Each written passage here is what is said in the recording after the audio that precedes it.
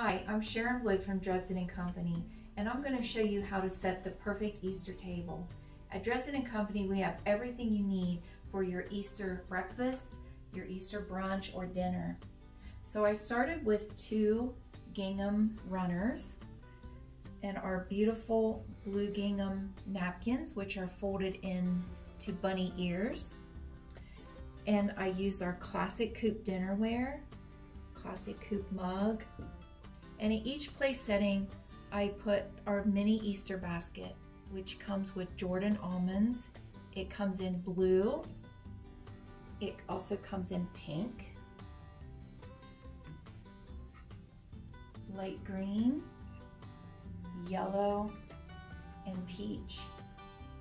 And these colors coordinate with our Easter morning baskets, which comes in pink, and it has the lavender and peach accents and it comes in blue and it has green and yellow accents.